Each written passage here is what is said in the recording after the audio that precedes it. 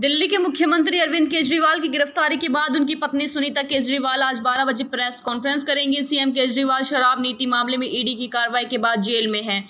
उनकी गिरफ्तारी के बाद से ही सुनीता केजरीवाल काफ़ी एक्टिव हो गई है। इससे पहले भी वह मीडिया के सामने आई थी जब उन्होंने एक चिट्ठी बढ़कर सीएम की गिरफ्तारी का विरोध जताया था और कहा था कि वह दिल्ली की जनता के लिए आखिरी सांस तक काम करते रहेंगे। कुछ बड़ा ऐलान कर सकती है सुनीता केजरीवाल। दिल्ली के मुख्यमंत्री अरविंद केजरीवाल की पत्नी सुनीता केजरीवाल का एक पूर्व आईआरएस अधिकारी है। फ़िलहाल जारी राजनीतिक उठापटक के बीच उन्हें लेकर कई तरह की अटकलें जारी है। पूर्व अधिकारी सुनीता केजरीवाल ने आयकर विभाग में दो दशकों से ज़्यादा समय तक सेवा देने के बाद 2016 में स्वैच्छिक रिटायरमेंट ले लिया था। ऐसा माना जाता है कि उन्नीस सौ तिरानवे बैच की भारतीय राजस्व सेवा अधिकारी सुनीता केजरीवाल की एक ट्रेनिंग के दौरान आईआरएएस अधिकारी अरविंद केजरीवाल से मिली थी।